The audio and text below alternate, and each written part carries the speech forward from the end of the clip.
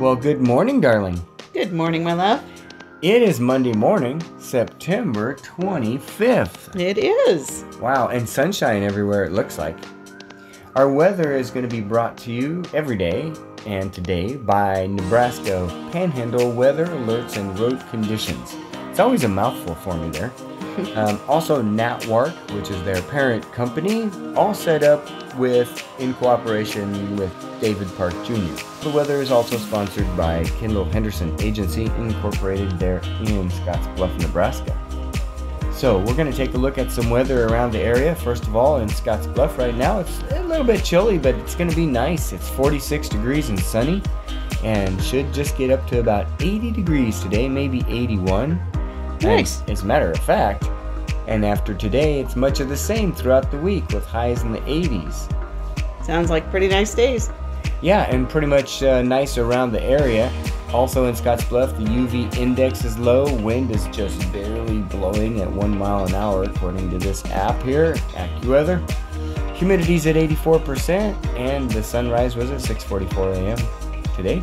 Sunset will be at 6:46 p.m let's look at some other areas where we travel to around the country or where our listeners are. In McCook, 51 degrees right now and sunshine. Lexington, 53 degrees in the center part of the state. Omaha, 64 degrees, so a little more, a little more warmth down east. And then back here to the west and south of us, Cheyenne's 52 degrees, Denver 55 degrees, Colorado Springs 54, in Hutchinson, Kansas, 61 degrees. And then up north, where one of our radio stations are, up there, Great Falls, Montana, 47 degrees. And down here in Texas, where we're sitting currently, Wichita Falls, Texas, 75 degrees with another warm day, but not near as warm as yesterday's 100. We'll take 92 today. Bring on fall, is what I say. Hey, but 82 is a lot cooler than 102, right? True. So we're pretty cool with all this. All right, well, let's move on into our daily devotional, and it's talking about the tongue today. So, another thing that can bring some fire. That's right. Uh oh. What have we got here? Let's take a look. Now, faith is the assurance of things hoped for, the conviction of things not seen. And without faith, it is impossible to please God because anyone who comes to him must believe that he exists and that he rewards those who earnestly seek him. Seek ye first the kingdom of God, and all these things shall be added unto you. Everything is possible for one who believes. Welcome to Faith Matters.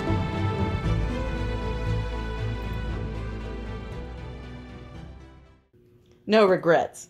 That's the title for today from The Tongue by Rocky Fleming. This is Five Days of Abiding in Christ. Mmm, another hard lesson. You pick such good ones here, Andy. Thank you. No, thank you. Shall we get started today? Day one. What made me say that? What was I thinking? Oh, how I regret what I said. If I could only take it back. Who else will hear what I said? Will I ever be forgiven for this? Will I forgive myself? Will I ever recover from what I've lost? Can God forgive me? Have you heard yourself ask these questions before? I speak from experience when I say that I have asked these questions, and that is why I can also tell you that it's an agonizing place to be in in your thoughts. You don't want to be there, and it is something you want to avoid. It's something that Jesus wants you to avoid, and since it is our mission to make disciples, it becomes imperative that we address this subject. So let's talk about avoiding some regrets that keep you from asking the questions above. Here's Andy with rule number one I have said many things that I have regretted, but I have never regretted something I chose not to say. Somewhere in my past, I came across this wisdom, and it has been my guide for many years now. I wish that I had always listened to it. When I have followed this wisdom, I have discovered that it has kept me from speaking too quickly too rashly, in a wrong way, and often without needed information. This week, I want to take our thoughts to the wise use of words, for words can both curse and bless. It simply depends on how they are used. The next bit of wisdom I will share with you is wait and think before you speak. When a word leaves your mouth, it cannot be retrieved. Both of those are scriptural. Therefore, consider your words carefully before they leave your mouth. Three things. They're just rewording scripture here. Mm-hmm. there will be a better time, and there will be a better way to act rather than what a reaction can produce. This is where you choose to avoid some regrets. Oh, here's James 119. Know this, my beloved brothers and sisters. Let every person be quick to hear, slow to speak, and slow to anger. As a disciple of Christ, we are stewards of what he has entrusted to us. We have been entrusted with a life that is to honor him. Therefore, as wise stewards, we are to invest our words wisely. By doing so, we will have a return on this investment for our Master, as these words not only provide the listener with wisdom from above, these words also come back to bless us. Yes, God will forgive us when we have spoken wrong words if we seek his forgiveness. Even so, we will often face the consequences of those wrong words. Therefore, this gives us even more reason to not speak until we are ready. Mm. That reminds me of a previous lesson where we learned that we should recite God's own word back to Him. Mm, mm-hmm. So here's our prayer Lord, thank you for this word and help us to know this that we should be quick to hear, slow to speak, and slow to anger. Mm. In Jesus' name we pray. Amen. Don't worry about anything. Instead, pray about everything. Tell God what you need and thank Him for all He has done. Then you will experience God's peace, which exceeds anything we can understand. His peace will guard your hearts and minds as you live in Christ Jesus. And now, dear brothers and sisters, one final thing. Fix your thoughts on what is true and honorable, and right and pure and lovely and admirable. Think about things that are excellent and worthy of praise. Then the God of peace will be with you.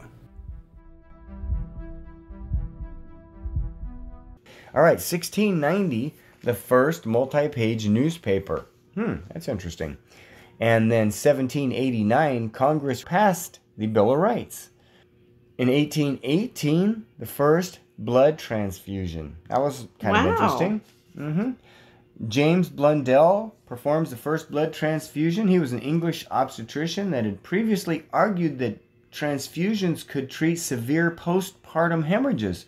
So after giving birth, he took the husband's blood and transfused it into the wife. It Huh. would help stop bleeding. So evidently, blood transfusions then eventually became a mainstay in modern medicine and have saved countless lives over the decades. That's it. That's really interesting. Didn't know that. 1818. Yeah. And somebody got loose in 1875. In 1875. 1875, Billy the Kid escaped by climbing out of a chimney.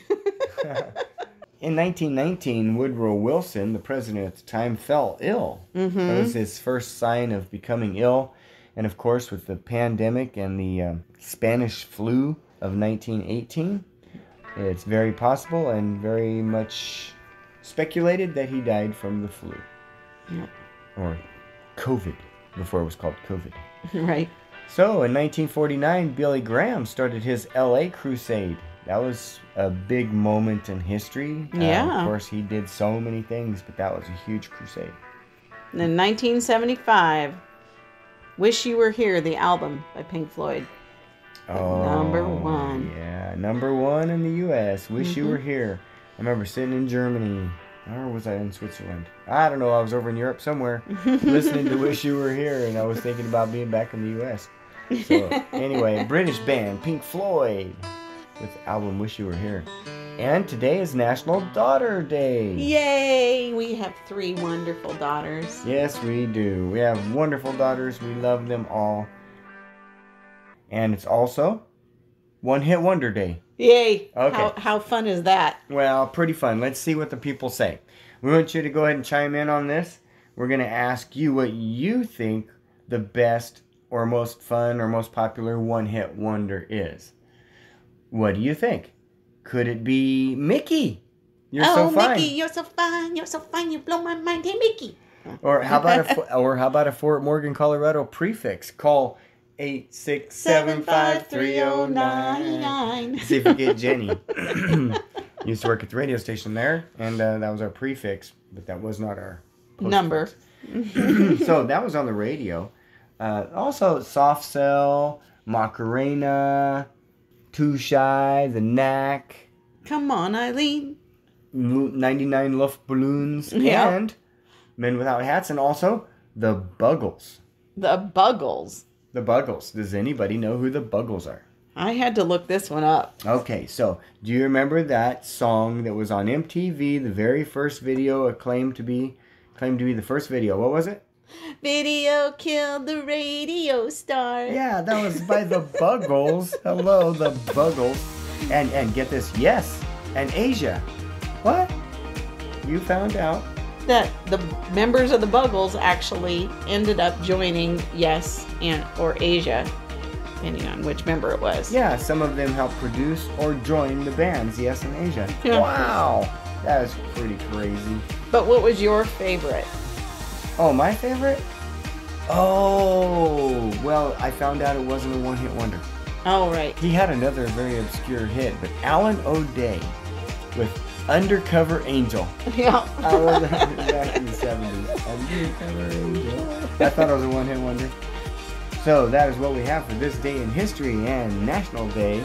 Be sure to check out the website at diggingdeeper.net for all of our articles and podcasts and more. Hope we elevated your day. Oh, yes, forgot to say that, so we'll leave it in there. Did you hear that, people? Yeah. Hope we elevate your day. Yep. Thanks again for listening, and may God bless. I'm Brian Hale, I'm Andy Hale. and we'll see you later.